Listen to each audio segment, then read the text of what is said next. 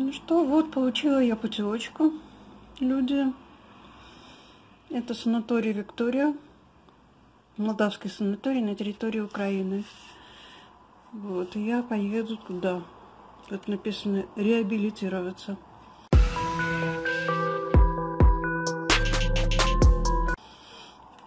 Вот такой санаторий в Сергеевке.